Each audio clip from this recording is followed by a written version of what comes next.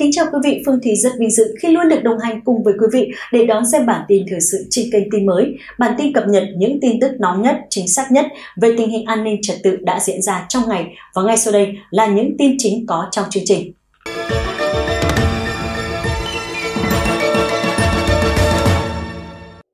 Kể từ sau hành động liều lĩnh của Trung Quốc trong sự kiện giàn khoan, Mỹ đã tăng tốc quá trình thực hiện chiến lược xoay trục. Sự gia tăng hiện diện của Mỹ ở Biển Đông đã gây một áp lực lớn lên Trung Quốc. Tuy nhiên Bắc Kinh cũng không phải tay vừa. Trên Biển Đông trong thời gian qua, hai nước này đã liên tục có những hành động để trả miếng đối phương. Trong bản tin hôm nay, chúng tôi xin tóm tắt lại những cú ăn miếng trả miếng của Bắc Kinh và Washington trong thời gian vừa qua. Sau sự kiện giàn khoan Mỹ cử máy bay trinh sát đến tuần tra Biển Đông để dằn mặt không quân Mỹ, Trung Quốc đã cho máy bay chiến đấu xuất kích một số vụ máy bay chiến đấu Trung Quốc bay áp sát máy bay tuần tra của Mỹ đã xảy ra, chẳng hạn như vụ máy bay quân sự Trung Quốc bay tạt đầu chiếc máy bay trinh sát RC-135 của không quân Mỹ vào ngày 15 tháng 9 năm 2015. Sau đó hơn một tháng, Mỹ cử tàu khu trục USS Ratsen tiến vào tuần tra Biển Đông. Con tàu này đã đi vào phạm vi 12 hải lý, xung quanh đá Subi nơi Trung Quốc đang bồi đắp trái phép để xây đảo nhân tạo. Hai ngày sau, hãng thông tấn nhà nước Trung Quốc là Tân Hoa xã phát đi tin tức nói rằng một đội tàu khu trục tên lửa dẫn đường thuộc hạm đội Nam Hải đã tiến hành diễn tập huấn luyện đối kháng thực tế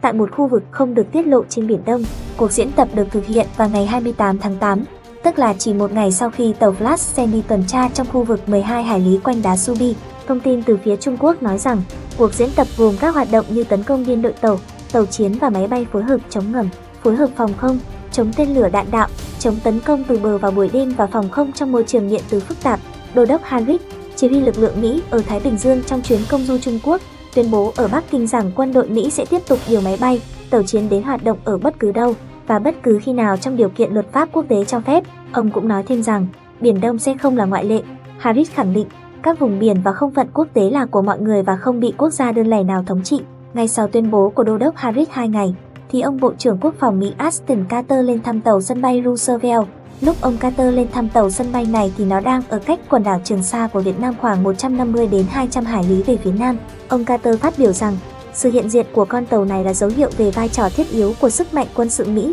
tại một khu vực mang tính chất quyết định với tương lai của Mỹ. Đến đêm qua hai máy bay ném bom B-52 của Mỹ đã bay trong khu vực quần đảo Trường Sa, nhưng không bay qua khu vực 12 hải lý quanh các đảo nhân tạo mà Trung Quốc đang xây dựng phi pháp. Song với hành động nói trên của Mỹ, phía Trung Quốc đều có các phản ứng về mặt ngoại giao. Sau đó từ phía Nam Biển Đông, Mỹ bất ngờ phái chiến hạm tiến vào tuần tra bên trong khu vực 12 hải lý của đảo Chi Tôn thuộc quần đảo Hoàng Sa, là nơi mà quân Trung Quốc đang đồn trú sau khi dùng vũ lực đánh chiếm của Việt Nam năm 1974. Vào ngày 30 tháng 1 năm 2016, tàu chiến USS Wilbur của Mỹ đã đi qua phạm vi 12 hải lý của đảo Chi Tôn theo thủ tục qua lại vô hại, nghĩa là tàu này tắt ra đa và hạ vũ khí. Dường như để đáp trả lại Mỹ, Trung Quốc đã triển khai một số máy bay chiến đấu J-11 ra đảo Phú Lâm trong quần đảo Hoàng Sa, một quan chức quốc phòng của Mỹ nói rằng Bắc Kinh đã triển khai 16 máy bay ra đảo Phú Lâm. Việc triển khai J-11 ra Phú Lâm không phải là lần đầu tiên, nhưng đợt triển khai ngày 7 tháng 4 là đợt lớn nhất từ trước tới nay. Ngoài ra, Trung Quốc cũng đã triển khai các hệ thống tên lửa phòng không Hồng Kỳ 9 ra đảo Phú Lâm từ trước đó,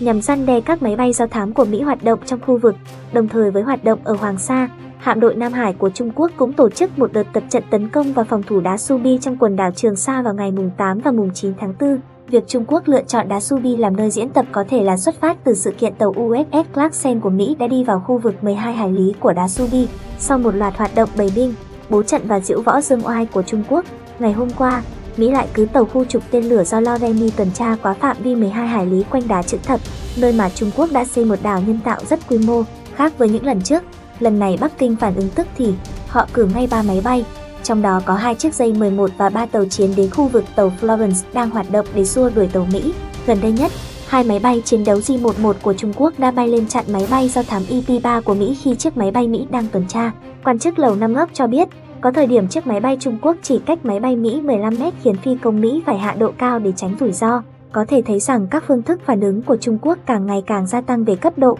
một số nhà quan sát của Mỹ đã bày tỏ lo ngại trên tạp chí National Interest về một vụ va chạm trên bầu trời mà từ đó có thể dẫn tới leo thang căng thẳng, thậm chí dẫn tới xung đột quân sự giữa hai nước. Thưa các bạn, tấn công bằng tên lửa hành trình được xếp vào nhóm tập kích hỏa lực đường không. Do vậy, để phòng chống và chiến đấu với đòn hỏa lực đường không thì lực lượng phòng không không quân là lực lượng nòng cốt. Ngoài ra, lực lượng hải quân cũng có vai trò phối hợp với các tàu chiến mang tên lửa phòng không triển khai ngoài biển để đánh chặn tên lửa hành trình từ vòng ngoài. Trong bản tin các cách đối phó với đòn tập kích bằng tên lửa hành trình, chúng ta đã biết rằng tên lửa hành trình ngày nay có thể được phóng đi từ cả mặt đất, trên biển và trên không. Mặt khác, việc đối phó với tên lửa hành trình có nhiều lựa chọn, hoặc đánh vào nơi địch triển khai phương tiện phóng, hoặc tổ chức đánh chặn tên lửa, hoặc nghi binh đánh lừa địch để thu hút tên lửa địch vào chỗ không gây hại, hoặc gây nhiễu điện tử để làm mất độ chính xác của tên lửa, hoặc kết hợp nhiều cách với nhau trong một phương án. Căn cứ vào đó, chúng ta sẽ đi từng phần để xem xét Việt Nam đã có những khả năng gì trước hết trong khả năng ra tay trước vào nơi địch triển khai phương tiện phóng.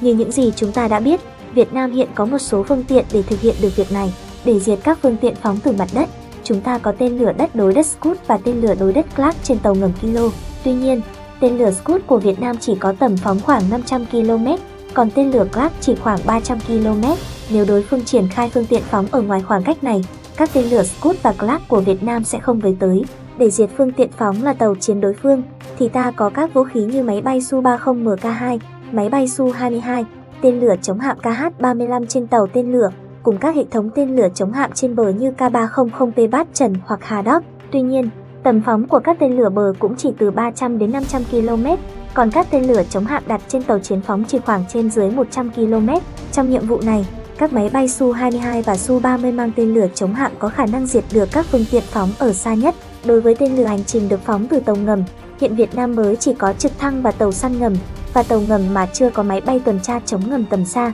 Do đó, khả năng để phát hiện và tiêu diệt tàu ngầm khi chúng chuẩn bị triển khai phóng tên lửa hành trình vào nước ta vẫn còn hạn chế. Đối với tên lửa hành trình được phóng từ máy bay, Việt Nam có thể diệt chúng bằng tên lửa phòng không đặt trên tàu chiến, tên lửa phòng không tầm xa 300 và máy bay chiến đấu. Với đặc điểm lãnh thổ Việt Nam, nếu kẻ địch sử dụng máy bay phóng tên lửa hành trình, các máy bay đó sẽ bắn tên lửa từ ngoài biển ở cự ly rất xa để tránh hỏa lực phòng không tầm trung và tầm thấp. Để chống đối tượng này, Việt Nam chỉ có tên lửa phòng không S-300 và các máy bay Su-30 là có khả năng. Các tàu chiến vốn chỉ mang các hệ thống phòng không tầm thấp và tầm trung cũng có ít khả năng. Mặt khác, bản thân các tàu chiến trên biển có thể cũng sẽ bị không quân đối phương chế áp trước khi các máy bay mang tên lửa hành trình được triển khai. Qua một loạt các loại vũ khí kể trên, chúng ta thấy rằng cơ bản Việt Nam có đủ năng lực để diệt kẻ địch triển khai bắn tên lửa hành trình trong cự ly từ 300 đến 500 km ở trên không, trên mặt biển và trên mặt đất. Riêng các tàu ngầm thì do thiếu máy bay tuần tra chống ngầm tầm xa nên Việt Nam chỉ có thể diệt tàu ngầm bằng chính tàu ngầm hoặc tàu chống ngầm mặt nước.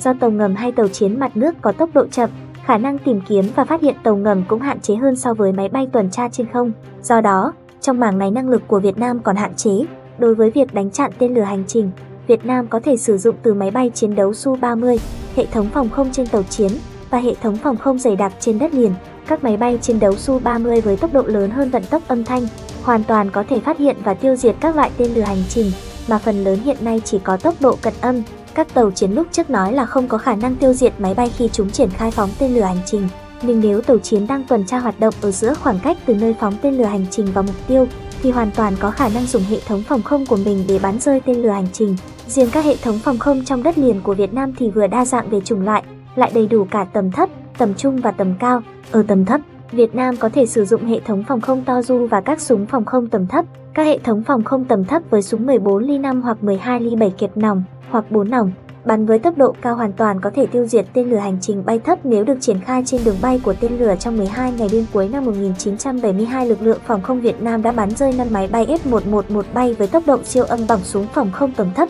Bí quyết của thắng lợi này là phán đoán hướng bay của chúng và đặt các ổ phòng không đón lõng. Nên nhớ, F-111 là máy bay có người lái và có thể cơ động tránh né đạn, còn tên lửa hành trình bay ổn định theo hành trình định sẵn, nên nếu phán đoán được đường bay và đón lõng, thì súng phòng không tầm thấp hoàn toàn có thể tiêu diệt được nó. Ngoài ra, Việt Nam còn có các hệ thống tên lửa rất hiện đại khác như S-300, S-1252PM, Spider, Book M2E, có thể bắn đón tên lửa hành trình từ tầm xa và tầm trung, hoặc các tên lửa phòng không vác vai có thể triển khai cơ động bắn tên lửa hành trình với mạng lưới phòng không nhiều tầng, nhiều lớp dày đặc như vậy, cộng với kinh nghiệm đối phó thành công một chiến dịch tập kích đường không quy mô lớn cuối năm 1972, chúng tôi tin tưởng rằng lực lượng phòng không Việt Nam hoàn toàn có thể đối phó hữu hiệu với một đợt tấn công bằng tên lửa hành trình. Trên đây là hai phương pháp đối phó mang tính chất đánh tiêu diệt. Bây giờ chúng ta xét đến phương án gây nhiễu và nghi binh từ trong kháng chiến chống Mỹ. Người Việt Nam đã biết cách dùng ngay đặc tính hiện đại của vũ khí Mỹ để trị lại Mỹ. Chẳng hạn, khi Mỹ dùng cây nhiệt đới để phát hiện các đoàn xe di chuyển trong đường mòn Hồ Chí Minh,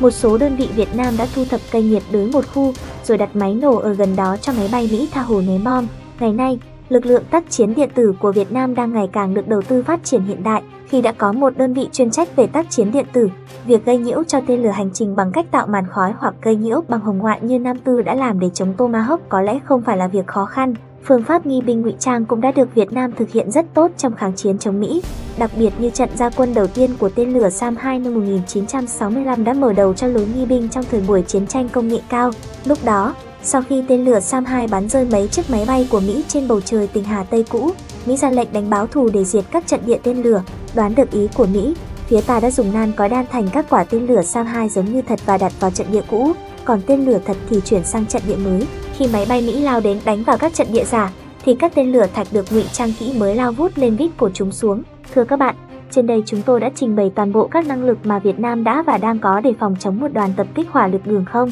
Trong bốn khía cạnh nói trên, có thể nói Việt Nam ta ít nhiều đã có kinh nghiệm ở một số khía cạnh. Cũng xin giải thích là khi trình bày hai khía cạnh đầu, chúng tôi chỉ nói lướt qua các loại vũ khí, phương tiện có khả năng diệt được tên là hành trình mà chúng ta đang có. Bởi lẽ nếu nói cụ thể từng loại vũ khí thì quá dài dòng. Qua những gì chúng tôi đã trình bày, xin để dành cho các bạn tự cân nhắc câu trả lời cho câu hỏi Việt Nam có trụ được không nếu bị tập kích hỏa lực đường không bằng tên lửa hành trình và không quân, kích hỏa lực đường không bằng tên lửa hành trình và không quân, kích hỏa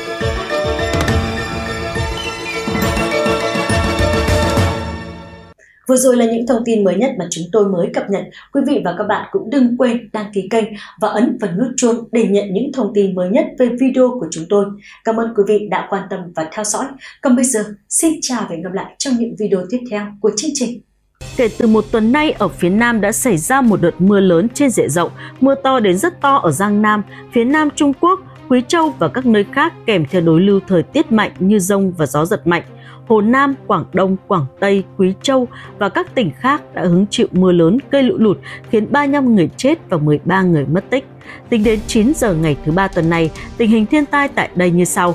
Theo báo cáo của Sở Nội vụ tỉnh Phúc Kiến, có 399.000 người bị ảnh hưởng tại 15 quận thuộc 4 thành phố Tam Minh, Long Nham và Tuyền Châu. 43.000 người được di chuyển và tạm tránh trú khẩn cấp, 20.000 người cần hỗ trợ cuộc sống khẩn cấp, hơn 2.800 ngôi nhà bị sập và 47.000 ngôi nhà bị hư hại ở các mức độ khác nhau. 34.100 ha cây trồng bị ảnh hưởng, trong đó 108.000 ha bị hư hại hoàn toàn. Thiệt hại kinh tế trực tiếp là 3,06 tỷ nhân dân tệ.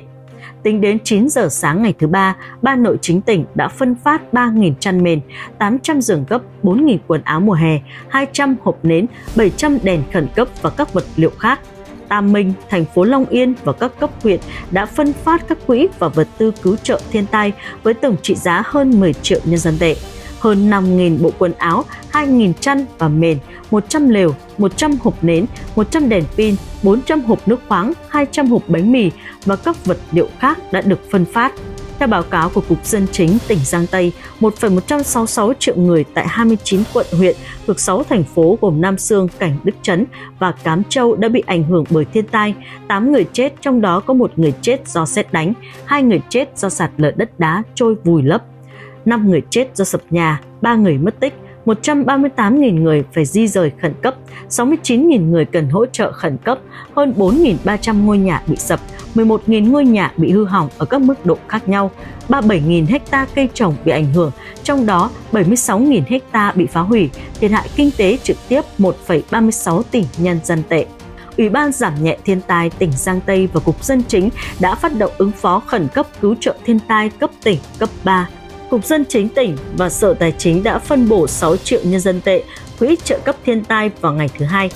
Theo báo cáo của Sở Nội chính, tỉnh Hồ Nam cũng có 979.000 người bị ảnh hưởng tại 35 quận huyện thuộc 7 thành phố gồm Chu Châu, Thiệu Dương và Sâm Châu. Có 22 người chết do sạt lở đất và dòng chảy bùn đá, 45.000 người phải di rời khẩn cấp, 19.000 người cần cấp cứu, hỗ trợ tính mạng khẩn cấp, hơn 1.000 nhà bị sập, hơn 4.700 nhà bị hư hỏng ở các mức độ khác nhau, 78,3 nghìn hecta hoa màu bị ảnh hưởng, trong đó 12 nghìn hecta bị mất trắng, thiệt hại kinh tế trực tiếp là 1,23 tỷ nhân dân tệ. Theo báo cáo của Cục Nội chính tỉnh Quảng Đông, có 658.000 người tại 23 quận huyện của 6 thành phố gồm Thanh Viễn, Thiểu Quan, Hệ Châu đã bị ảnh hưởng bởi thiên tai 20 người chết, trong đó có 4 người bị chết đuối, 44.000 người khẩn cấp di rời và tạm tránh trú, 12.000 người cần hỗ trợ đời sống, hơn 200 ngôi nhà bị sập, gần 400 ngôi nhà bị hư hỏng ở các mức độ khác nhau, 29,5 nghìn hecta hoa màu bị ảnh hưởng, trong đó mất trắng 3,4 nghìn hecta, thiệt hại kinh tế trực tiếp lỗ là 790 triệu nhân dân tệ. Theo báo cáo của Cục Dân chính khu tự trị dân tộc Choang, Quảng Tây, 396.000 người bị ảnh hưởng bởi thiên tai tại 32 huyện, quận thuộc 6 thành phố gồm Bách Sắc, Liệu Châu, Hà Trì. Hơn 5.500 người cần hỗ trợ đời sống khẩn cấp, gần 900 ngôi nhà bị sập, hơn 3.400 ngôi nhà bị hư hại ở các mức độ khác nhau. Diện tích hoa màu bị ảnh hưởng là 26,7 nghìn hecta, trong đó 2,2 nghìn hecta bị mất trắng. Thiệt hại kinh tế trực tiếp là 720 triệu nhân dân tệ. Theo báo cáo của Sở Nội chính tỉnh Quý Châu, 266.000 người ở 34 quận huyện trong 9 thành phố và quận tự trị, bao gồm Lục Bàn Thủy, An Thuận, và Thiên Tân Nam đã bị ảnh hưởng bởi mưa lũ, 11 người chết, 8 người bị thương và mất tích, gần 4.700 người phải di rời khẩn cấp, hơn 1.000 người cần được hỗ trợ khẩn cấp về tính mạng, hơn 300 ngôi nhà bị sập và 11.000 ngôi nhà bị hư hỏng ở các mức độ khác nhau. 10.000 hecta hoa màu bị ảnh hưởng, trong đó 11.000 hecta bị hư hỏng, trực tiếp thiệt hại kinh tế là 480 triệu nhân dân tệ. Trong số đó, vào lúc 11 giờ 29 phút ngày thứ hai, một trận lở đất do mưa liên tục đã gây ra vụ sập nhà ở quận Vân Nham, thành phố Quý Dương. Đến nay đã tìm thấy thi thể của 9 nạn nhân, còn 7 người vẫn đang mất tích. Thưa quý vị, Cục Dân chính tỉnh Thiểm Tây vào ngày thứ ba cho biết tính đến 10 giờ sáng ngày thứ hai, 96 quận huyện trong 10 thành phố và một quận ở Thiểm Tây đã bị ảnh hưởng bởi mưa lũ kể từ tuần trước. Dân số bị ảnh hưởng là 4,4125 triệu người với 50 người chết và 8 người mất tích. Thiệt hại kinh tế trực tiếp của tỉnh do thiên tai là 5,728 tỷ nhân dân tệ. Theo số liệu của Cục Khí tượng Thiểm Tây, trong gần 20 ngày qua, lượng mưa trung bình toàn khu vực ở tỉnh Thiểm Tây là 244,6 mm, cao nhất cùng thời kỳ lịch sử kể từ năm 1961. Trên địa bàn tỉnh có 165 trận mưa rông và mưa bão, các trạm ở Quan Trung và miền Nam Thiểm Tây, cả hai đều có lượng mưa cao nhất trong cùng thời kỳ lịch sử kể từ năm 1961. Theo thống kê kiểm tra được báo cáo bởi các phòng công vụ của nhiều quận ở Thiểm Tây, tính đến 10 giờ sáng ngày thứ ba, 96 quận huyện trong 10 thành phố và một huyện của tỉnh đã bị ảnh hưởng bởi mưa lũ kể từ đó. Ngày hôm thứ Năm vừa qua, dân số 4,1125 triệu người, 5 người chết do thiên tai, 18 người mất tích, 485.500 người phải di rời khẩn cấp, trong đó 150.000 người di rời vì lý do an toàn. 250.800 hecta hoa màu bị ảnh hưởng, 256.300 hecta hoa màu bị tàn phá. Thiệt hại kinh tế trực tiếp của tỉnh do thiên tai là 5,728 tỷ nhân dân tệ. Thảm họa ở Vệ Nam, Tây An và Hàm Dương rất nghiêm trọng. Các loại cây trồng như ngô và rau vụ hè bị thiệt hại nặng nề Thưa quý vị, bắt đầu từ ngày thứ Bảy tuần qua, Trung tâm gây quỹ và cứu trợ thiên tai tỉnh Thiểm Tây đã khẩn trương phân bổ các loại vật tư cứu trợ thiên tai trong kho chứa vật tư cứu trợ thiên tai của tỉnh theo yêu cầu thông báo của Ban dân chính tỉnh. Tính đến ngày thứ ba, 10.500 chân bông, 2.050 áo khoác bông, 1.000 lều đơn rộng 12 m2, 2.200 giường gấp, 100 túi ngủ, và hai bộ đèn tự phát đã được phân bổ cho nhiều nơi ở Thiểm Tây. Hiện tại, hàng cứu trợ đến các nơi vẫn đang được khẩn trương phân bổ.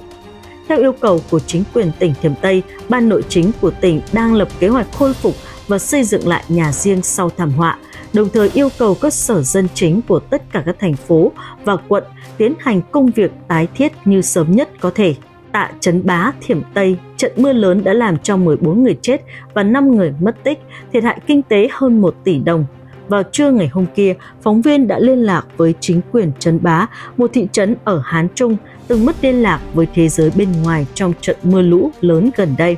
Được biết, lượng mưa lớn kể từ ngày hôm trước đã khiến 14 người chết và 5 người mất tích trong huyện, thiệt hại kinh tế lên tới hơn 1 tỷ nhân dân tệ.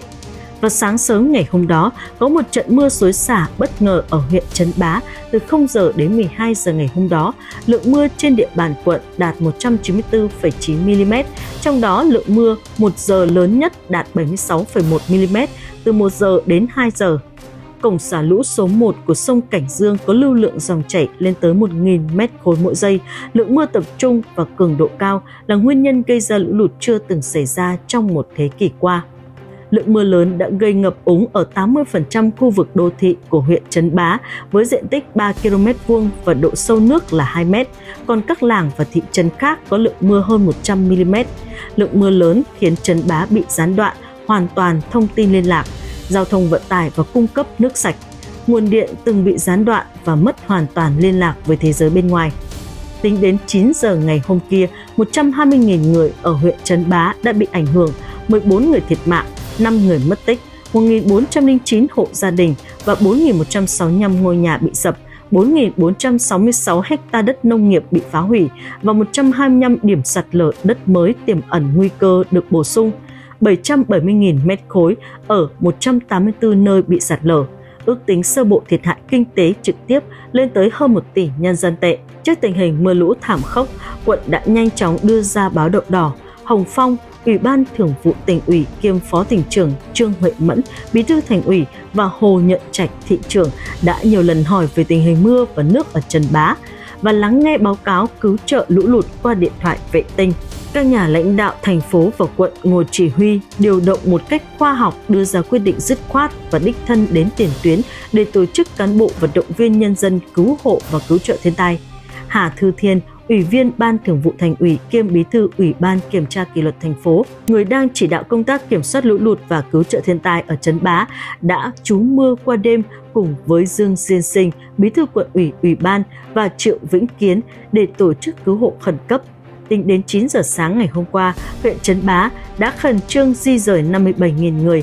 tránh trú tạm thời cho 5.500 người, tạm thời gấp rút thông một con đường nông thôn, còn lại những con đường bị hư hỏng do nước và cơ sở hạ tầng bảo tồn nước đều dựa vào sức riêng của Trấn Bá để sửa chữa. Đường cao tốc đoạn Trấn Bá của quận bị gián đoạn, trước mắt khó có thể vượt qua, quân cứu viện đang tập trung đi bộ đến Trấn Bá. Hiện tại do thông tin liên lạc và giao thông bị gián đoạn nên vẫn còn 8 thị trấn bị ảnh hưởng bởi mưa lũ chưa được thống kê và chưa thể ước tính được thiệt hại.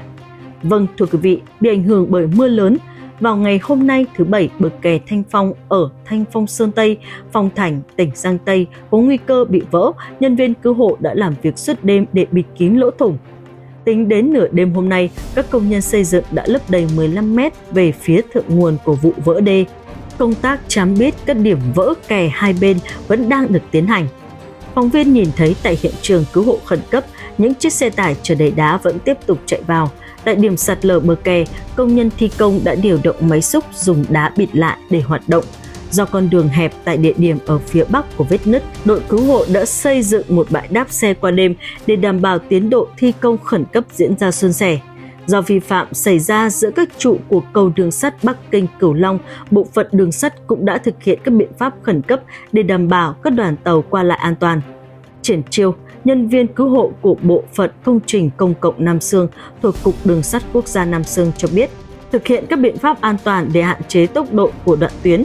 Đồng thời, hơn 60 nhân viên cứu hộ đã được tổ chức khẩn trương đến hiện trường và các lực lượng tiếp viện đã được thực hiện bằng cách lấp đầy các hốc của mố bảo vệ cầu đường sắt bằng lồng dây sắt và túi rằn. Hiện tại, tuyến đường sắt Bắc Kinh Cửu Long đang vận hành trơn tru tính đến 0 giờ ngày Chủ nhật các công nhân xây dựng đã lấp đầy 15 mét về phía thượng nguồn của điểm vỡ kè và việc niêm phong các điểm vỡ ở cả hai bên bờ kè vẫn đang được tiến hành. Theo ChinaNews.com, Tây An ngày hôm qua cho biết vào khoảng 8 giờ 30 phút ngày hôm kia, một vụ lở đất quy mô lớn đã xảy ra bên cạnh làng Cổ Xuyên, thị trấn Triều Ngư, huyện Bảo Kê, phía tây ở cuối đồng bằng Quan Trung, tỉnh Thiểm Tây. 8 dân làng địa phương bị chôn vùi, đội cứu hỏa Bảo Di vội vã đến hiện trường để giải cứu. Hiện có 5 người đã được cứu sống, 3 người đã tử vong. Bị ảnh hưởng bởi lượng mưa liên tục, vào lúc 8 giờ 30 phút sáng ngày hôm kia, một vụ lở đất quy mô lớn đã xảy ra gần làng Cổ Xuyên, thị trấn Triều Ngư, quận Vị Tân, thành phố Bảo Di. Vào thời điểm đó, tại hiện trường, một chiếc xe ba gác máy đã rơi xuống hố bùn. Người lái xe ba gác và 7 người dân địa phương đẩy xe bị vùi lấp dưới lớp đất sạt lở. Sau khi trận lở đất xảy ra, lực lượng cứu hỏa địa phương, công an, y tế và các bộ phận khác đã nhanh chóng đến hiện trường để giải cứu. Theo Dương Vĩnh Đào của đội cứu hỏa Bảo Di cùng các nhân viên cứu hỏa đã cẩn thận dùng xẻng xúc một phần đất, chủ yếu bằng tay vì họ lo lắng rằng máy móc lớn sẽ làm tổn thương những người bị chôn vùi. Đồng thời lực lượng cứu hỏa cũng thiết lập các chốt quan sát để quan sát sạt lở sẽ gây ra các thảm họa thứ cấp. Đến trưa, toàn bộ 8 người bị vùi lấp đã được đào lên. Khi được giải cứu, 3 người đã tử vong và 5 người bị thương được đưa vào bệnh viện điều trị vào cuối tháng trước, đặc biệt là từ tháng này, do thời tiết mưa liên tục, miền Trung và miền Đông Tứ Xuyên, miền Trung và miền Nam Thiểm Tây, hầu hết Hà Nam, miền Nam và miền Đông Cam Túc, miền Nam Sơn Tây, miền Trung và miền Tây Sơn Đông, cũng như Hồ Bắc, Vân Nam, Quý Châu, Trùng Khánh và các tỉnh, thành phố khác đã có 3 trận mưa lớn liên tiếp ở một số khu vực bị ảnh hưởng bởi lượng mưa lớn liên tục, lũ lụt nghiêm trọng đã xảy ra ở hai con sông và một lưu vực sông, hơn 40 con sông ở Tứ Xuyên, Trùng Khánh, Thiểm Tây, Hồ Bắc, Hà Nam và các tỉnh, thành phố khác đã trải qua lũ lụt trên mức cảnh báo. Lũ thượng lưu sông Hàn trong 20 năm và lũ lớn nhất ở sông Vị kể từ năm 1981 mưa kéo dài so với cùng kỳ các năm trước, lượng mưa nhìn chung tăng, có nơi lượng mưa lên tới 430 đến 500 mm.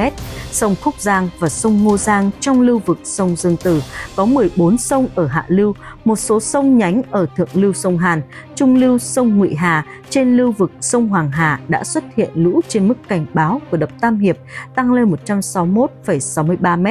vượt mực nước giới hạn lũ 16,63 m mực nước hồ chứa Đan Giang Khẩu tăng lên 155,96 m, cao hơn mực nước giới hạn lũ 3,46 m.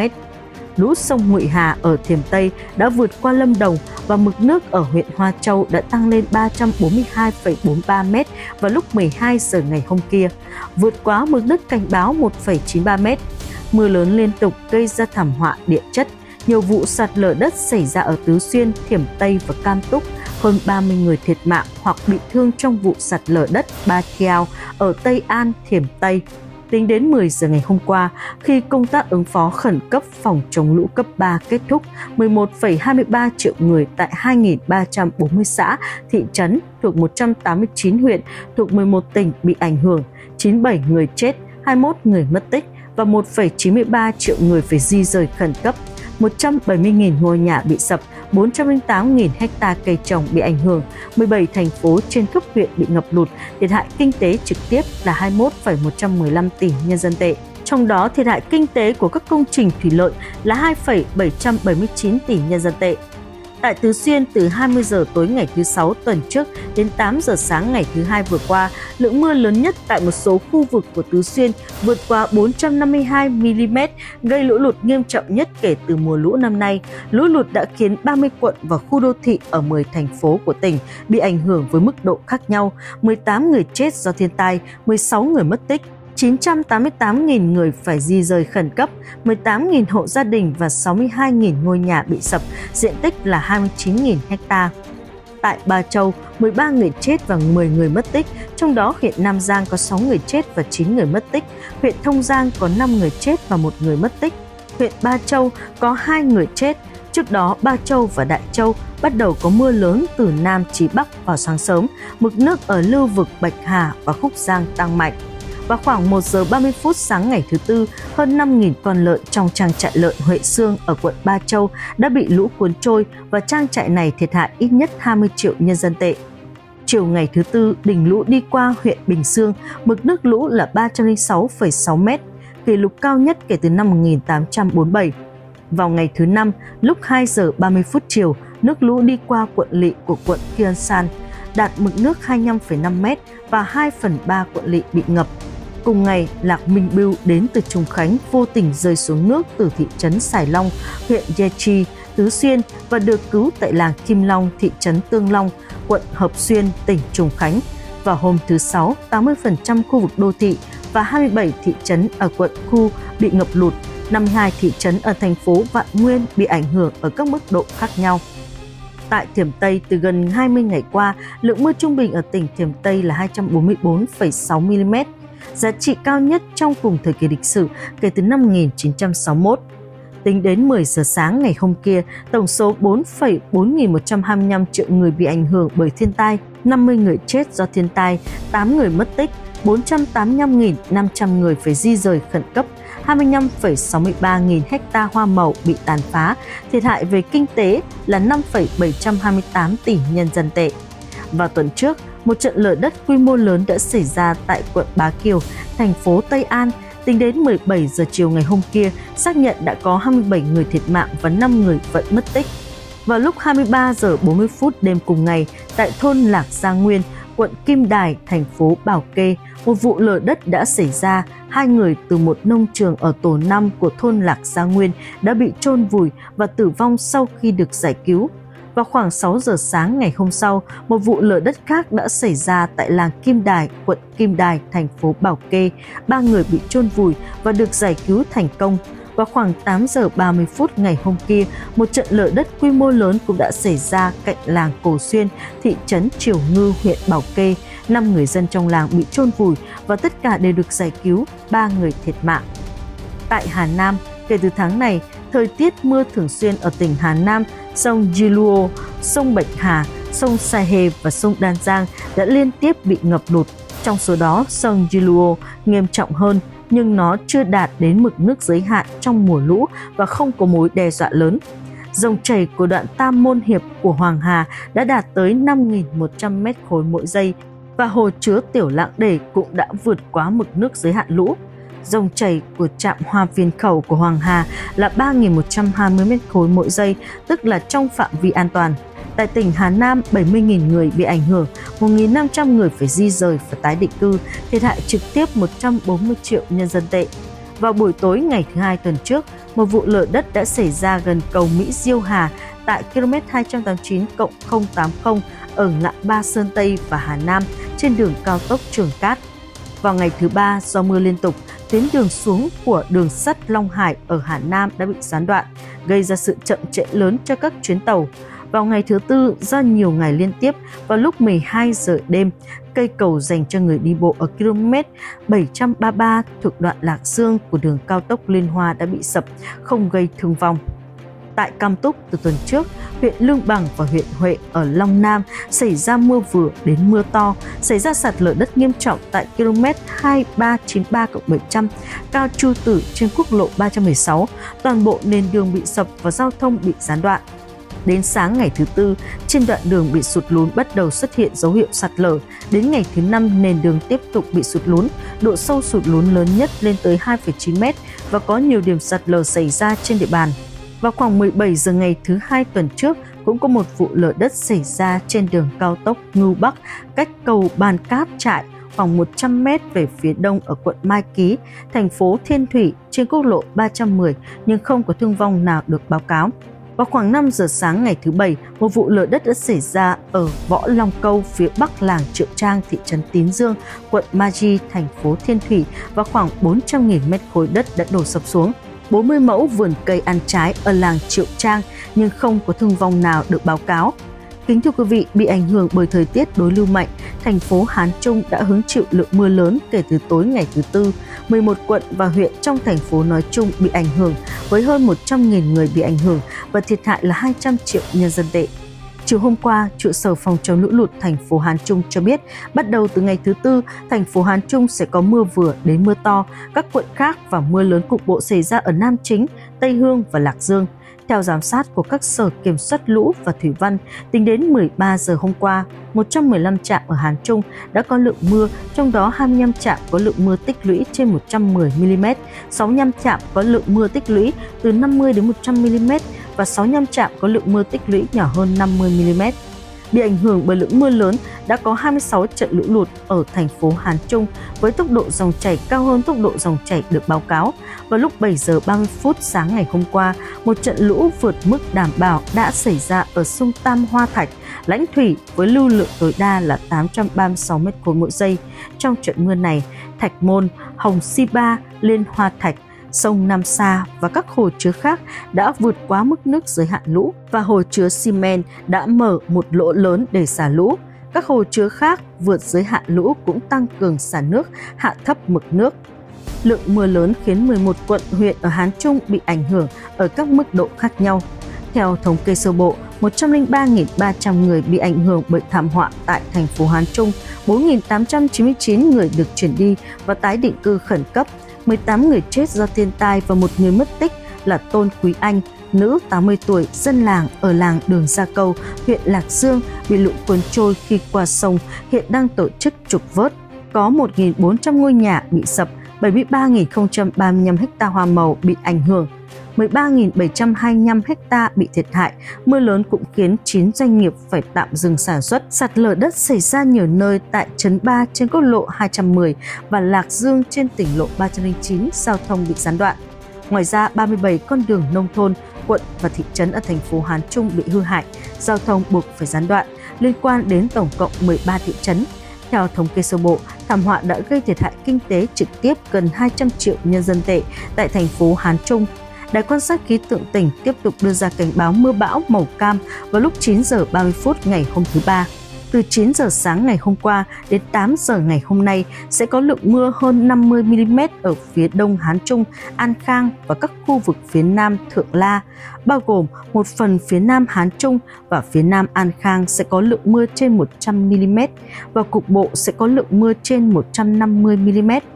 Tính đến 2 giờ sáng ngày hôm qua, sau khi hàng trăm nhân viên cứu hộ làm việc liên tục, công tác tìm kiếm cứu nạn vụ tai nạn sạt lở đất ở huyện Lạc Dương đã cơ bản hoàn thành. Tổng cộng 22 người đã được tìm kiếm và cứu hộ tại hiện trường, trong đó 18 người tử vong và 4 người được đưa đi cấp cứu tại bệnh viện. Hiện 4 người bị thương đã trong tình trạng ổn định. Theo các nhân viên có liên quan, công tác tìm kiếm cứu nạn tại chỗ về cơ bản đã kết thúc vào sáng sớm ngày hôm qua. Vụ lở đất là một thảm họa địa chất do nguyên nhân tự nhiên gây ra. Tỉnh lộ 309 bị ách tắc tuy đã được thông tuyến nhưng do mưa lớn kéo dài, khu vực này vẫn có nguy cơ sạt lở trên tuyến đường bị đóng. Hơn 2.000 phương tiện bị mắc kẹt hai bên bờ sạt lở. Được biết sau khi vụ việc xảy ra, thành phố Hán Trung đã cử một số chuyên gia từ bệnh viện trung tâm đến Lạc Dương dưới sự lãnh đạo của giám đốc Trương Cát Tường, đồng thời tiến hành kiểm tra và điều trị toàn diện cho những người bị thương tới bệnh viện đường sắt huyện Lạc Dương. Hiện một người bị thương nặng, ba người khác bị thương nhẹ, bốn người đã ổn định và vẫn đang được điều trị. Kể từ ngày thứ tư, các khu vực Mễ Thương Sơn và Đan Bá Sơn phía nam sông Hán và lưu vực sông Gia Lăng đã có những cơn mưa xối xả bất ngờ và mưa lớn đã xảy ra ở một số khu vực. Lũ lụt nghiêm trọng xảy ra ở các khu vực địa phương như Lạc Dương ở Hán Trung và Lạng Sơn ở An Khang. Mưa lớn đã gây ra vụ lở núi ở Lạc Dương, khiến 18 người thiệt mạng và 4 người khác bị thương. Sau trận lũ lụt và lở đất, trụ sở khẩn cấp địa phương đã được thành lập khẩn cấp và 5 đội bao gồm cứu hộ tại chỗ và cứu hộ y tế đã được đưa vào công tác cứu hộ. Đồng thời, các nhà lãnh đạo chính của quận Lạc Dương đã dẫn nhân viên từ các bộ phận liên quan như đất đai, thủy lợi, an ninh công cộng, phòng cháy chữa cháy và vệ sinh đến hiện trường, đồng thời triển khai máy móc lớn và hàng trăm nhân viên khẩn cấp cố gắng hết sức để giải cứu. Hiện tại địa phương đang nỗ lực tổ chức triển khai các công việc như tái định cư cho người dân bị ảnh hưởng, khắc phục hậu quả do lũ lụt và lở đất gây ra cho các nạn nhân. Các sở ban ngành liên quan của tỉnh đã thông báo vào ngày thứ năm rằng lưu vực sông Hàn và sông Gia Lăng đã bước vào giai đoạn kiểm soát lũ lụt khẩn cấp yêu cầu tất cả các địa phương làm tốt công tác phòng chống mưa bão, lũ lụt và thực hiện các nhiệm vụ của mình tốt nhất để đảm bảo an toàn tính mạng cho người dân khoảng 20,79 triệu người tại 20 tỉnh và khu tự trị trên cả nước bị ảnh hưởng bởi mưa lớn và lũ lụt, 108 người chết, 21 người mất tích, 1,072 triệu người phải di rời khẩn cấp, 1 triệu 717 nghìn hecta hoa màu bị ảnh hưởng, 44 nghìn ngôi nhà bị sập. Kể từ đầu năm nay, mưa lớn và lũ lụt đã trực tiếp gây thiệt hại kinh tế khoảng 35,3 tỷ nhân dân tệ, mức độ nghiêm trọng hiếm thấy trong những năm qua. Bị ảnh hưởng bởi tình hình lũ lụt, chi phí vận chuyển rau và thất thoát đã tăng lên trong mùa hè này. Đồng thời nguồn cung càng thắt chặt hơn đã khiến giá rau tăng đột biến. Các chuyên gia cho rằng hiện tượng El Nino sẽ tiếp tục diễn ra mạnh hơn, áp lực đối với công tác kiểm soát lũ lụt trong tương lai sẽ không còn như trước, cần phải đẩy nhanh tiến độ xây dựng các công trình thủy lợi lớn. 20 tỉnh bị lũ lụt gây thiệt hại hơn 35 tỷ nhân dân tệ. Ở một số nơi trong năm nay, mưa xối xả đã gây ra ngập lụt, gây khó khăn lớn cho công tác cứu hộ khẩn cấp và cứu trợ thiên tai. Ngụy Hoa Trân, giám đốc văn phòng kiểm soát lũ lụt của huyện Đại Hoa, Quảng Tây cho biết mùa lũ năm nay là nặng nhất kể từ khi quận được thành lập. Ngoài Quảng Tây, các hiện tượng thời tiết cực đoan trên cả nước cũng gia tăng trong năm nay. Theo Dương Lâm, chuyên gia từ Trung tâm Khí hậu thuộc Cục Khí tượng tỉnh Phúc Kiến, việc thiếu mưa vào đầu mùa xuân ở Phúc Kiến năm nay đã gây ra hạn hán quy mô lớn, lũ quét và ngập lụt đô thị xảy ra trong khu vực. Theo dự báo, sau khi mùa lũ năm nay kết thúc, hiện tượng El Nino có thể gây ra một đợt đảo chiều hạn lũ khác tại tỉnh Phúc Kiến.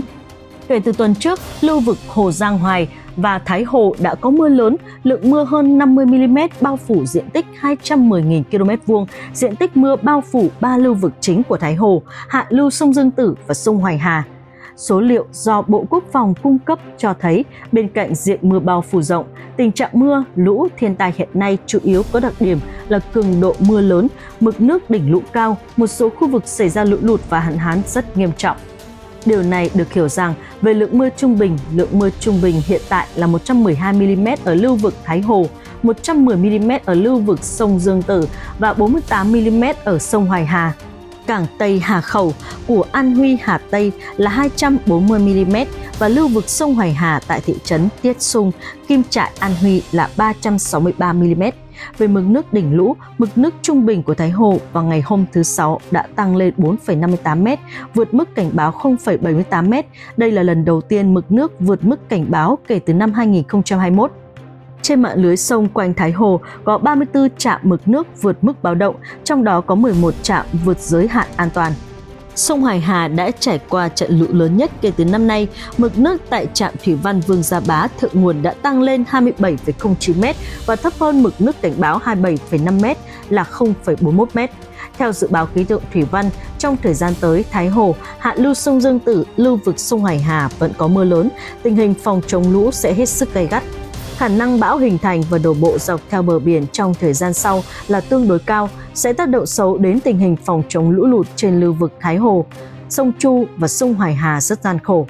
Bộ Nông nghiệp gần đây đã tổ chức các chuyên gia khí tượng và nông nghiệp để thảo luận về tác động của sự kiện El Nino và tin rằng hiện tượng El Nino sẽ tiếp tục cho đến mùa thu và đạt cường độ trung bình hoặc cao hơn.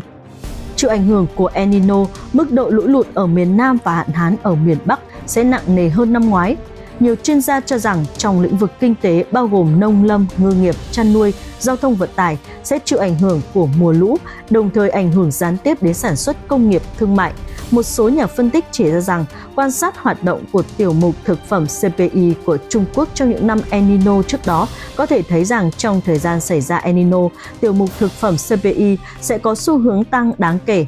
một phóng viên của Nhật báo Thông tin Kinh tế nhận thấy rằng do thời tiết khắc nghiệt ở nhiều tỉnh trong hai tháng qua, giá nông sản gần đây đã bắt đầu biến động.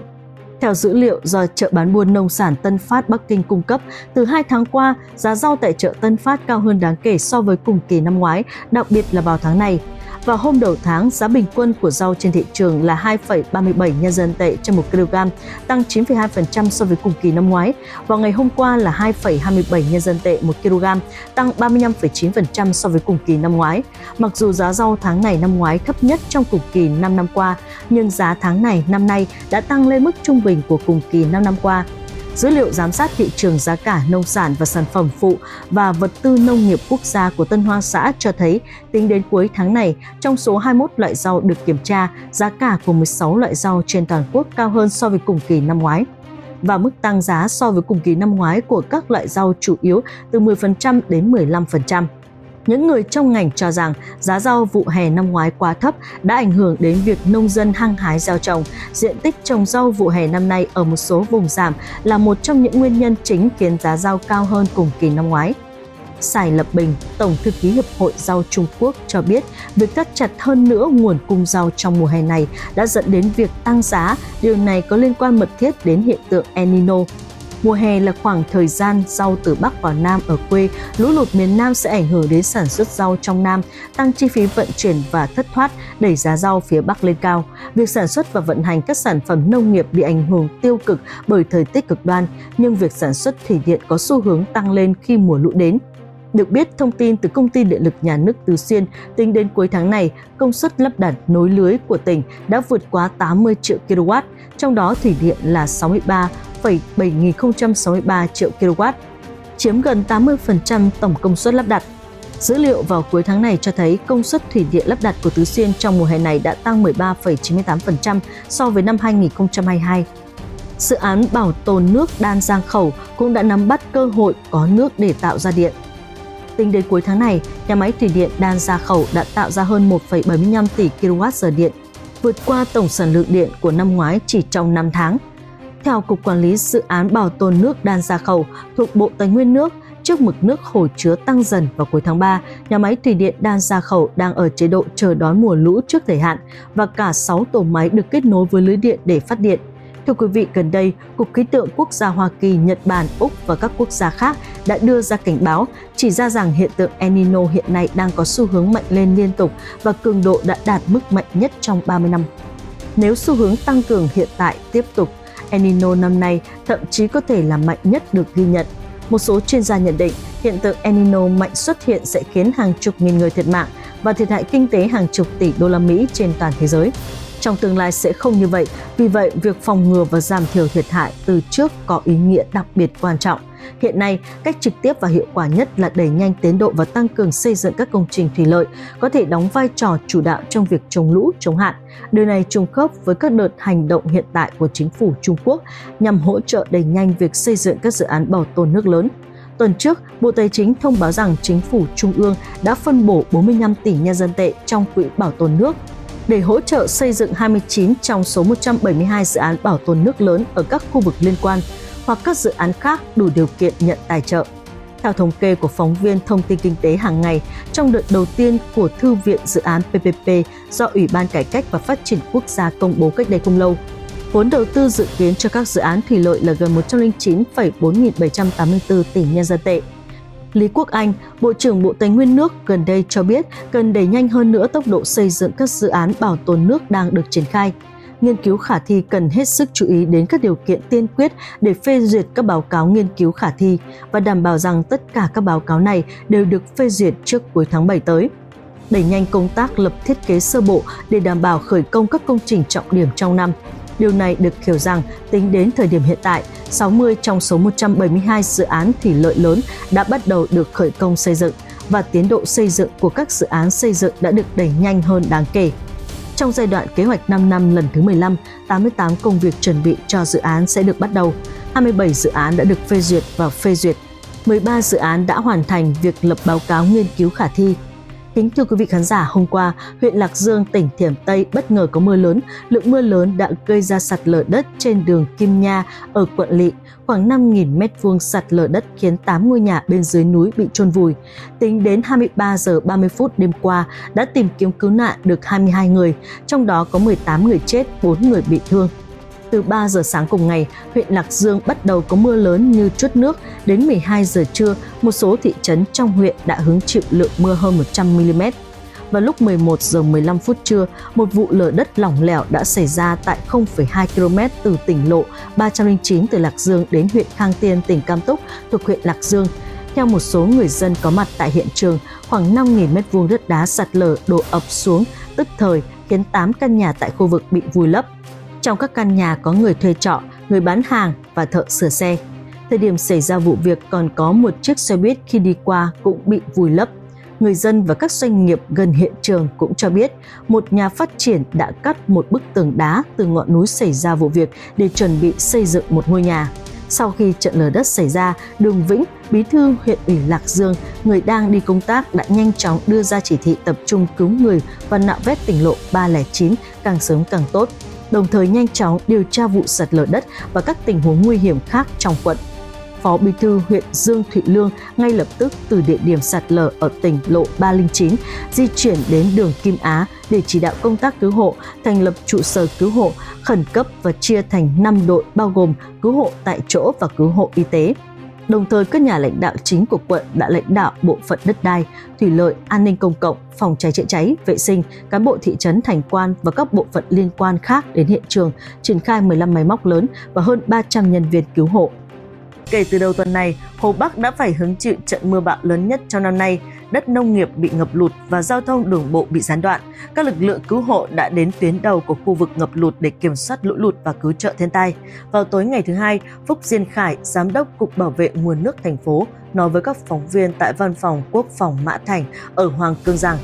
Cục Khí tượng đã dự đoán chính xác quá trình mưa bão và cả thành phố đang chuẩn bị cho trận mưa bão. Đến 3 hồ chứa lớn, 7 hồ chứa vừa và 278 hồ chứa nhỏ của thành phố cũng đã xả lũ trước thời hạn, tránh lũ và di rời thành công với quy mô lớn cho hàng vạn người dân. Vào sáng ngày Chủ nhật, trận mưa xối xả đã gây ra lũ lụt trên núi, sông Cư Thủy chạy qua thành phố Mã Thành đã tràn qua thị trấn Hoàng Đồ Cương. Thành phố Mã Thành đi qua quốc lộ 106 và thị trấn bị tê liệt.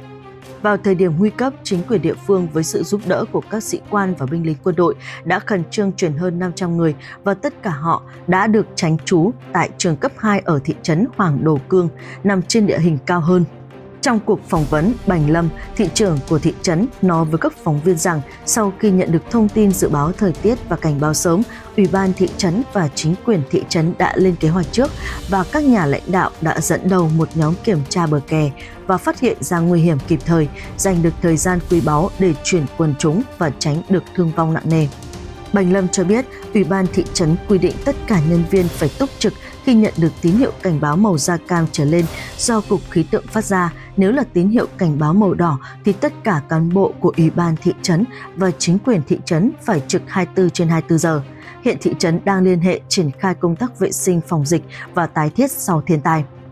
Sáng thứ ba, phóng viên đến ưng Sơn Phàm, khu vực chịu thiệt hại nặng nề nhất, những ngôi nhà gạch đất đổ sập trong lũ vẫn chưa được dọn dẹp. Bùn đất bốc mùi hôi thối khó chịu dưới cái nắng.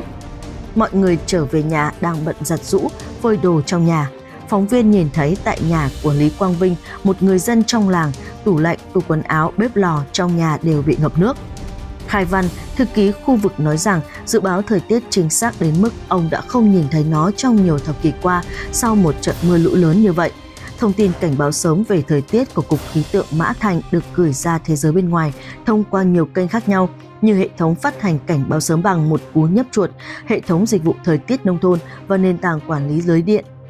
vào hôm Chủ nhật, khi trận mưa dữ dội nhất, lượng mưa trong 24 giờ tại thành phố đã vượt quá 370 mm. Cục khí tượng đưa ra tổng cộng 9 tín hiệu cảnh báo thời tiết, trong đó có 5 tín hiệu màu đỏ. Diệp Vĩnh Lượng, Giám đốc Cục Khí tượng Mã Thành, sống ở huyện Hoàng Mai, Hoàng Cương cho biết, kể từ mùa lũ chính, ông đã ở Cục Khí tượng Mã Thành hơn 30 ngày liên tục mà không về nhà và ông đã 3 ngày không thay quần áo. Việc thiếu nắng trong những ngày qua đã khiến pin mặt trời của nhiều trạm tự động trong thành phố gặp sự cố và Diệp Vĩnh Lượng đã rất vất vả trong những ngày qua. Lưu Trung Tân, một kỹ sư cao cấp của Đài quan sát khí tượng sống ở tầng 1 cho biết, vào hôm Chủ nhật, khu đô thị Mã Thành bị ngập lụt nghiêm trọng. Mặc dù lo lắng rằng ngôi nhà của mình sẽ bị ngập lụt, nhưng anh ấy vẫn bám trụ 3 ngày 3 đêm. Anh không kịp trở về nhà cho đến khi tạnh mưa. Hôm thứ Năm, phóng viên nhìn thấy ở làng Vận Tài, thị trấn Hoa Xuân Điếm, huyện Đại Vũ, Siêu Gan, bờ kè sông Trúc Ga chảy qua làng đã được chặn kịp thời, nó không bị sập trong năm qua. Do chịu ảnh hưởng lũ lớn ở thượng nguồn và dòng chảy xiết của địa phương, bờ kè bị cuốn trôi hơn 40 mét, khiến nước sông đổ thẳng vào làng khiến 6 thôn dân trong làng bị ảnh hưởng, thiệt hại 1.000 hecta đất ruộng tan hoang và bị ngập lụt, hơn 200 người dân được di rời khẩn cấp. Trường Tiền Nhạc, bí thư tri bộ thôn và Thạch Trạch Giang, trưởng thôn nói với các phóng viên rằng không có ai bị thương trong trận lũ lụt nghiêm trọng chưa từng xảy ra trong nhiều thập kỷ này. Lúc nào thấy nước sông lên nhanh, chúng tôi vội vàng tổ chức di rời người dân. Theo Lý Quốc Quân, một thành viên của Ủy ban thị trấn và Đông Phương Tuyền, một dân làng 52 tuổi đã từ chối rời khỏi nhà khi lũ tràn vào làng. Theo Chu Hồng Kiệt, giám đốc Cục Khí tượng quận Đại Vũ cho biết, cho đến nay quận này đã nhận được lượng mưa lên tới 1.100 mm đã bắt kịp lượng mưa trung bình hàng năm của quận là 304 mm. Lũ lụt hoành hành ở làng Vận Tài trong hai ngày trước khi nó rút xuống. Theo ước tính sơ bộ, độ sâu tối đa của trận lũ tràn vào làng lần này sâu khoảng là 3 mét. Vào tối ngày thứ năm khi phóng viên trở lại Vũ Hán, cơn mưa xối xả lại từ trên trời rơi xuống Vũ Hán. Trung báo thời tiết lần lượt vang lên, cục khí tượng vẫn ngày đêm canh gác. 21 con sông ở Giang Tây, Phúc Kiến và các nơi khác đã có lũ trên mức cảnh báo.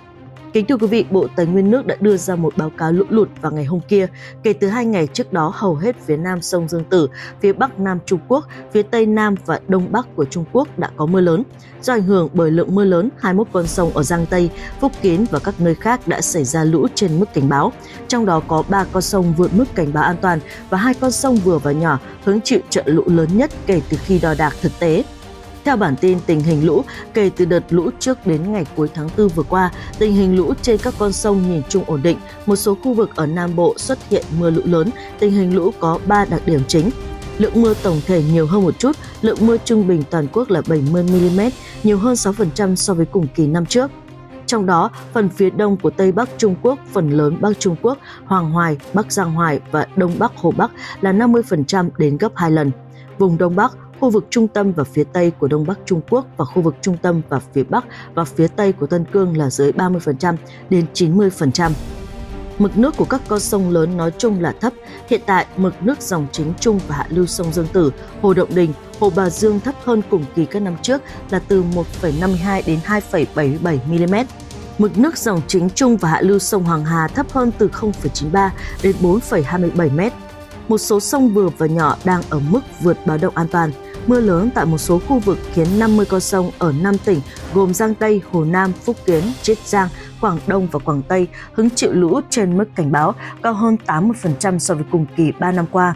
Người phụ trách Cục Phòng chống lụt bão Bộ Thủy lợi cho biết, trước tình hình mưa lũ lớn vừa qua ở khu vực phía Nam, Bộ Thủy lợi đã theo dõi chặt chẽ diễn biến tình hình nước mưa, tăng cường giám sát, dự báo và cảnh báo sớm, đồng thời tiến hành tham vấn và phán đoán luân phiên các tỉnh Chiết Giang, Phúc Kiến, Giang Tây, Hồ Nam, Quảng Đông, Quảng Tây, Tứ Xuyên và các nơi khác đã ra thông báo triển khai công tác phòng chống lũ lụt, lũ quét trên các sông vừa và nhỏ các an toàn hồ chứa trong mùa lũ và công tác kiểm tra, bảo vệ đê bao, nhất là khi mưa lũ lớn xảy ra ở Giang Tây và các nơi khác. Trong trường hợp xảy ra tình huống đột xuất nguy hiểm, Bộ Thủy lợi đã kịp thời cử tổ công tác đến hiện trường để xử lý, hướng dẫn phòng chống ứng phó mưa bão, lũ lụt, điều động các công trình thủy, xử lý các tình huống nguy hiểm. Kính thưa quý vị, theo các bản tin của CCTV, từ ngày thứ Bảy đến ngày Chủ nhật vừa qua, quận Tân La, thành phố Long Yên, tỉnh Phúc Kiến đã hứng chịu mưa lớn và mực nước của sông Long Xuyên tại địa phương tăng vọt. Vào khoảng 1 giờ 40 phút sáng ngày Chủ nhật, tại làng Bình Linh, đường Tiên Sơn, quận Tân La, khi bốn cán bộ địa phương đang kiểm tra tình trạng nước trên một cây cầu trên sông Long Xuyên, cây cầu bất ngờ bị sập, cả bốn người rơi xuống nước và mất tích. Bốn cán bộ này gồm ba cán bộ khu phố và một cán bộ thôn, người trẻ nhất mới 25 tuổi.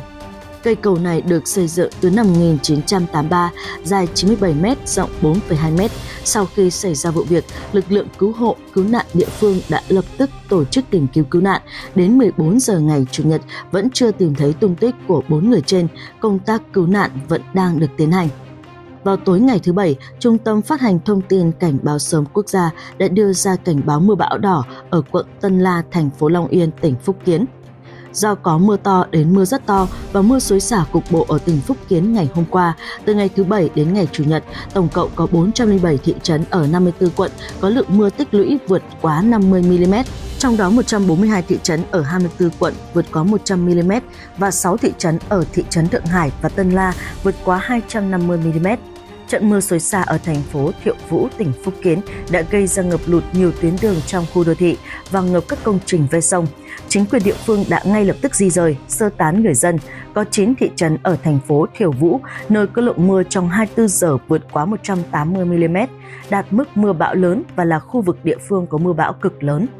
Bị ảnh hưởng bởi mưa lớn, nhiều làng xã và đường xá đã bị ngập lụt. Dưới ảnh hưởng của lượng mưa lớn, một số con đường ven sông và các công trình khác cũng bị ngập do mực nước sông dâng cao. Vào chiều ngày thứ Bảy, ngoại trừ học sinh trung học phổ thông ở thành phố Thiểu Vũ, hơn 70 trường tiểu học, trung học cơ sở và trường mẫu giáo trong thành phố đã đóng cửa.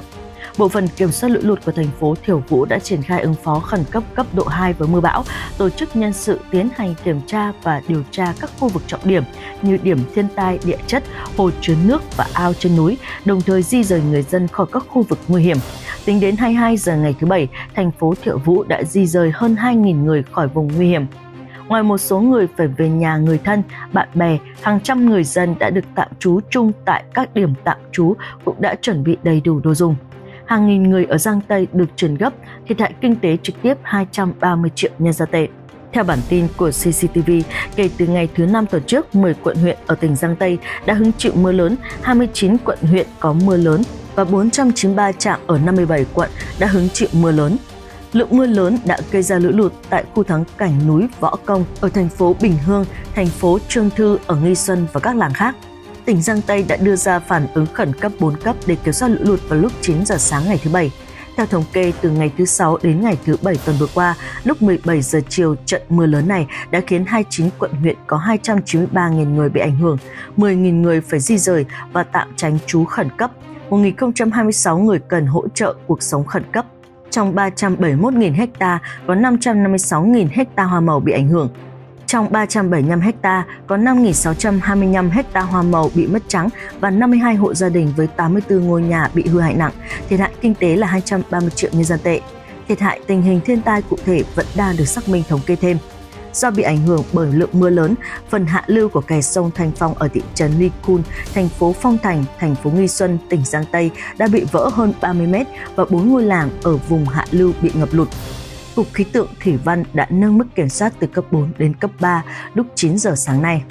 Lực lượng dân quân cứu trợ khẩn cấp gồm 180 người đã được tổ chức khẩn trương đến thôn Thượng Sơn, thị trấn Ly Cun để hỗ trợ di rời quần chúng, tham gia đóng chốt ngăn chặn, làm tốt công tác bảo vệ mái ta luy quanh vùng trụ thấp. Theo tin tức của CCTV vào chiều ngày Chủ nhật, theo tin tức mới nhất từ trụ sở khẩn cấp, 2 phần 3 công việc thi công lấp chỗ đê kè vỡ đã được hoàn thành, máy xúc và máy ủi vẫn đang tiếp tục lấp chỗ vỡ bằng đá do xe tải kéo. Theo dự báo của Đài khí tượng Thủy văn Trung ương, ngày hôm nay, vành đai mưa tiếp tục dịch chuyển về phía Nam, vùng mưa mạnh hơn dịch chuyển về phía Nam Trung Quốc, một số khu vực có mưa to đến rất to, cảnh báo thời tiết đối lưu màu xanh. Ngày mai, lượng mưa ở miền Nam Trung Quốc sẽ yếu đi đáng kể và lượng mưa ở hầu hết các vùng của đất nước sẽ yếu. Theo các bản tin của CCTV, Vạn Quần Chi, Phó Giám đốc Cục Kiểm soát Lũ lụt và Cứu trợ hạn hán của Bộ Quản lý Khẩn cấp cho biết tình hình lũ lụt năm nay có 3 đặc điểm chính. Thứ nhất, mặc dù lượng mưa nhìn chung thấp, nhưng sự phân bố theo thời gian và không gian không đồng đều. Thứ hai, sông ngòi vượt báo động. Thứ ba, tình hình mùa lũ không khả quan, vừa hạn vừa lũ, Ông Vạn Quần Chi cho biết để chuẩn bị và phòng chống lũ lụt năm nay, thứ nhất là chuẩn bị trước và theo dõi các mắt xích yếu như hồ chứa, thủy điện. Thứ hai là nghiên cứu, phán đoán trước để đảm bảo phát hiện sớm, báo cáo sớm, xử lý sớm các tình huống nguy hiểm. Thứ ba là lực lượng ứng cứu trước đảm bảo xử lý nhanh, hiệu quả các tình huống nguy hiểm. Từ 3 ngày nay, một số khu vực của tỉnh Giang Tây hứng chịu lượng mưa lớn, trong đó từ 20 giờ ngày thứ năm đến 8 giờ ngày thứ bảy, 74 trạm tại 14 huyện của tỉnh Giang Tây có lượng mưa vượt quá 250 mm, 1494 trạm tại 63 huyện có lượng mưa từ 100 đến 250 mm. Lượng mưa điểm lớn nhất là 381 mm tại huyện Trường Giang, trấn Cảnh Đức lượng mưa lớn đã gây ra tình trạng ngập úng nghiêm trọng ở quận Trường Giang của trấn Cảnh Đức và quận Lâm Xuyên của thành phố Phúc Châu. Nhiều đoạn đường khó đi qua do nước ngập sâu, một số lượng lớn nhà cửa và cửa hàng bị ngập lụt. Mực nước dâng lên tới 2 mét. Theo thống kê, thảm họa đã ảnh hưởng đến 1,098 triệu người ở 37 quận của 9 thành phố, bao gồm Phúc Châu, Trấn Cảnh Đức và Cát An. 21 người chết, 130.000 người phải di rời khẩn cấp và 65.000 người cần hỗ trợ cuộc sống khẩn cấp thêm hơn 1.900 ngôi nhà bị sập, hơn 3.300 phòng bị hư hại ở các mức độ khác nhau. Diện tích cây trồng bị ảnh hưởng là 97,6 nghìn hecta, trong đó 13,8 nghìn hecta bị mất trắng, thiệt hại kinh tế trực tiếp là 1,38 tỷ nhân dân tệ mưa lớn ở Giang Tây cũng đã ảnh hưởng 697.000 người, thiệt hại kinh tế trực tiếp 520 triệu nhân dân tệ. Cục Quản lý Khẩn cấp tỉnh Giang Tây cho biết rằng do mưa lớn đã gây ra cho thành phố Phúc Châu, thành phố Tây An, thành phố Nghi Xuân, thành phố Tân Dư, thành phố Bình Hương, thành phố Thượng Nhiêu, thành phố Cám Châu có 697.000 người ở 43 quận trong 9 thành phố trực thuộc quận bị ảnh hưởng bởi mưa lũ, 14.000 người phải di rời và tái định cư khẩn cấp và 2.482 người cần hỗ trợ cuộc sống khẩn cấp, 1.000 hecta hoa màu bị hư hại, 7 ngôi nhà bị sập, 7 ngôi nhà bị hư hại nghiêm trọng, 197 ngôi nhà bị hư hại ở các mức độ khác nhau, thiệt hại kinh tế trực tiếp là 540 triệu nhân dân tệ. Mưa lớn gây sạt lở đất nhiều nơi ở Hồ Nam. Trong hai ngày qua, nhiều nơi ở Hồ Nam có mưa lớn, mực nước sông ở một số khu vực dâng cao. Sạt lở đất xảy ra ở một số khu vực. Từ 2 giờ sáng ngày thứ Sáu, huyện Hành Sơn, thành phố Hành Dương bất ngờ có mưa rông, lượng mưa lên tới 165 mm trong hơn 4 giờ lở đất xảy ra ở nhiều điểm thiên tai địa chất ở quận Hồng Sơn và tường nhà của một số người dân bị hư hại. Hiện địa phương đã di rời dân đến nơi an toàn. lũ sông gây ngập nước ở thành phố Như Thành, tỉnh Hồ Nam. Tại huyện Như Thành, thành phố Sâm Châu, tỉnh Hồ Nam, trận mưa lớn ngắn ngày vào ngày thứ Sáu đã khiến mực nước sông Thành Quan trong khu đô thị tăng vọt. Các vùng trũng thấp gần đó bị ngập nặng do lũ lụt. Nhiều người dân đã bị mắc kẹt và đã được di chuyển đến khu vực an toàn. Một số người thiệt mạng. Đồng An, Hạ Môn, Phúc Kiến đưa ra cảnh báo kép Cục Bảo tồn nước thành phố Phúc Kiến Hạ Môn đã đưa ra cảnh báo màu cam về nguy cơ thảm họa lũ lụt trên núi vào lúc 19 giờ 04 phút ngày thứ Bảy. Theo tình hình nước mưa hiện tại, dự kiến trong 3 giờ tới, phố Tương Bình, thị trấn Hồng Đường, thị trấn Bình Tây, đường phố Đại Đồng và thị trấn Vô Tích, quận Đồng An, Hạ Môn. Mức độ rủi ro của thiên tai lũ quét tại 5 thị trấn đường phố là cảnh báo màu da cam. Đài quan sát khí tượng quận Hạ Môn, Đồng An đã nâng cấp tín hiệu cảnh báo mưa bão màu cam thành tín hiệu cảnh báo mưa bão màu đỏ vào lúc 19 giờ 12 phút ngày thứ Bảy. Trong 3 giờ qua, làng Tào Thủy, thị trấn Đình Tây, quận Đông An đã hứng chịu lượng mưa lớn 120 mm. Dự kiến thị trấn Đình Tây, thị trấn Liên Hoa vẫn có lượng mưa lớn từ 30 đến 50 mm. Hãy chú ý để ngăn chặn các thảm họa thứ cấp như ngập lụt đô thị và lũ lụt trên núi do mưa lớn. Phúc Kiến ban hành cảnh báo mưa bão cấp 3. Đài quan sát khí tượng tỉnh Phúc Kiến tiếp tục đưa ra cảnh báo mưa bão cấp 3 vào lúc 6 giờ 40 phút sáng ngày thứ Bảy. Hôm thứ Bảy, toàn tỉnh có mưa rào hoặc rông vài nơi, có nơi mưa to đến rất to ở ven biển Trung Bộ và Nam Bộ. Lượng mưa tích lũy trong 24 giờ phổ biến 40 đến 80 mm, lượng mưa lớn nhất có nơi 50 mm. Thời tiết đối lưu mạnh như gió mạnh, hơn 100 quận, huyện và thành phố ở Quảng Đông phát tín hiệu cảnh báo mưa bão. Hôm thứ Bảy, mưa lớn xảy ra ở nhiều nơi tại Quảng Đông. Trận mưa xối xả ở Quảng Châu bắt đầu vào sáng sớm ngày thứ Bảy. Trong số đó, nhiều thị trấn và thị trấn ở quận Công Hóa có mưa lớn, lượng mưa lên tới hơn 80mm trong một giờ, kèm theo lượng mưa còn có gió giật mạnh cường độ từ 8 đến 9. Tương tự, thành phố Thanh Nguyên cũng hứng chịu lượng mưa lớn. Tại thị trấn Kinh Đầu, cơ quan khí tượng đã theo dõi mưa tích lũy gần 90mm trong một giờ. Khu vực địa phương đã đưa ra cảnh báo mưa bão màu đỏ lượng mưa lớn khiến mực nước sông dâng cao và xuất hiện những khu vực sạt lở đất nhỏ trên một số tuyến quốc lộ. Theo dự báo của Cục Khí tượng Quảng Đông, lượng mưa lớn ở Quảng Đông sẽ kết thúc vào ngày Chủ nhật. Giang Tây Tân An lũ rút, quá trình khử trùng đang được tiến hành, mưa lớn và thời tiết đối lưu mạnh tiếp tục ảnh hưởng đến nhiều nơi ở miền Nam Trung Quốc. Mưa ở Tân An, Giang Tây đã tạnh, lũ rút, công tác nạo vét và khử trùng đang được tiến hành. Thưa quý vị, bước sang tuần này, dưới tác động kép của không khí lạnh và lượng mưa, nhiệt độ cao nhất tại Quế Lâm đã giảm xuống 18 đến 21 độ C, khu vực phía Bắc Quảng Tây thậm chí còn giảm xuống 14 độ C đến 16 độ C. Kiểu thời tiết lạnh giá này sẽ còn tiếp diễn nên chúng ta cần chú ý giữ ấm. Theo dự báo của Đài khí tượng Quảng Tây, từ ngày mai do chịu ảnh hưởng chung của đường đứt gãy và không khí lạnh, một đợt không khí lạnh sẽ tràn vào cuối Lâm từ Bắc chí Nam, toàn bộ Quảng Tây cũng sẽ đón gió trong một đợt mưa đáng kể mới. Và thời tiết đối lưu mạnh, từ ngày mai đến 3 ngày tới ở phía Bắc Quảng Tây và phía Đông Quảng Tây có mưa to liên tục kèm theo đối lưu thời tiết mạnh như rông và gió giật mạnh, lượng mưa mỗi giờ tối đa 40 đến 60 mm. Ngày mai và ngày kia, đây là thời kỳ mưa mạnh nhất trong quá trình này, xuất hiện mưa to đến mưa rất to, mưa to cục bộ đến mưa rất to ở một số khu vực Quế Lâm kèm theo thời tiết đối lưu mạnh như rông ngắn ngày và gió giật mạnh. Trong hai ngày tiếp theo, một số khu vực Quế Lâm sẽ duy trì mưa to, cục bộ mưa xối xả đến mưa rất to, kèm theo thời tiết đối lưu mạnh như rông ngắn ngày và gió giật mạnh. Tại Quế Lâm, trời nhiều mây, có mưa rào hoặc rông. Các chuyên gia khí tượng Quảng Tây nhắc nhở lượng mưa vào quá trình đối lưu mạnh có thời gian tác động dài, phạm vi rộng, lượng mưa tích lũy cục bộ lớn, một số khu vực ở Quế Lâm và các thành phố khác có nguy cơ cao xảy ra thiên tai mưa lớn, một số dòng sông có khả năng cao về lũ sông vừa và nhỏ. Cần tăng cường ra soát, loại bỏ các điểm tiềm ẩn nguy hiểm để đề phòng các thiên tai thứ cấp như lũ quét, tai biến địa chất, lũ trên các sông vừa và nhỏ, ngập úng đô thị và nông thôn do mưa lớn gây ra. Ngày mai, nắng tiếp tục và mưa vẫn tiếp diễn. Mưa sẽ ở lại Quảng Tây trong vài ngày nữa và động lực cũng tăng lên.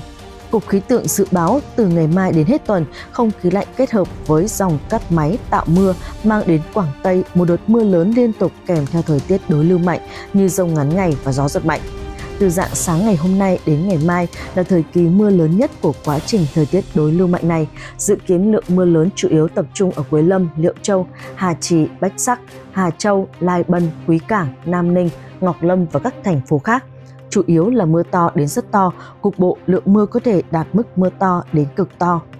Từ chiều tối ngày mai đến 2 ngày tới, mưa có giảm nhẹ nhưng các khu vực phía đông và nam Quảng Tây lượng mưa vẫn sẽ đạt mức mưa to, có nơi mưa to đến mưa to cục bộ. Đến ngày Chủ nhật, quá trình thời tiết đối lưu mạnh sắp kết thúc, phía Bắc và phía Tây Quảng Tây sẽ chuyển nhiều mây. Nhưng có thể mưa rào hoặc mưa rông đột kích. Các khu vực khác của Quảng Tây lượng mưa khan hiếm, chủ yếu nhiều mây. Cần đặc biệt chú ý đợt thời tiết đối lưu mạnh này có thời gian tác động dài, phạm vi rộng, lượng mưa tích lũy cục bộ lớn, một số khu vực ở Quế Lâm, Liễu Châu, Hà Trì, Ngọc Lâm và các thành phố khác có lượng mưa lớn, tiềm ẩn nguy cơ rủi ro thiên tai do mưa lớn. Tây Hà, Lạc Thanh Giang và các khu vực vừa và nhỏ khác, nguy cơ lũ sông tương đối cao. Rủi ro khí tượng lũ lụt trên núi và thảm họa địa chất ở Dung An, Dung Thủy, Lạc Thành, Lục Trại và những nơi khác là tương đối cao, nhắc nhở mọi người cảnh giác và đề phòng. Vào lúc 12 giờ ngày hôm qua, Cục Khí tượng Quảng Tây đã ban hành lệnh ứng phó khẩn cấp cấp 4 đối với mưa bão lớn. Theo điều kiện mưa hiện tại, Trung tâm Thủy văn Quảng Tây dự đoán từ ngày hôm nay đến Chủ nhật, hầu hết các sông ở Quảng Tây sẽ trải qua quá trình lũ lụt trên diện rộng. Một số sông ở phía Bắc Quảng Tây và phía Đông Quảng Tây có thể xảy ra lũ vượt cấp. Cục Thủy văn đề nghị chúng ta nên tập trung vào công tác kiểm soát lũ lụt và an toàn của các con sông chính và sông nhánh như Quý Giang, Huệ Giang, Liễu Giang, Lạc Thanh Giang, Mông Giang, Nam Lưu Giang, Bắc Lưu Hà, Trung và Hạ Lưu Tây Giang. Tập trung vào việc ngăn chặn lũ lụt ở Liễu Châu, Quế Lâm, Ngọc Lâm, Quý Cảng. Mưa lớn ở Ngô Châu và Hà Châu đã gây ra lũ lụt ở các sông vừa và nhỏ, ngập lụt ở các vùng trũng thấp, ngập úng đô thị, lở đất sạt lở đất và các thảm họa khác, đồng thời đề nghị làm tốt công tác vận hành khoa học và lập lịch trình đối với các hồ chứa ở thượng nguồn sông Quý Giang, các hồ chứa Quý Thị và Hạ Miên Thạch ở sông Huệ Giang, phát huy hết vai trò của hồ chứa trong các dự án cắt lũ cắt đỉnh.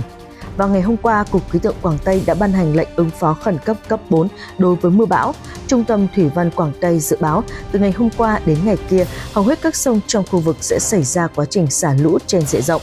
Theo Cục Khí tượng Quảng Tây, dự kiến do ảnh hưởng chung của rãnh cắt ngang và không khí lạnh nên từ ngày hôm qua đến ngày mai, ở phía Bắc và phía Đông Quảng Tây có mưa to liên tục kèm theo đối lưu thời tiết mạnh như rông, gió giật mạnh, chú ý đề phòng mưa lớn và các thiên tai thứ cấp.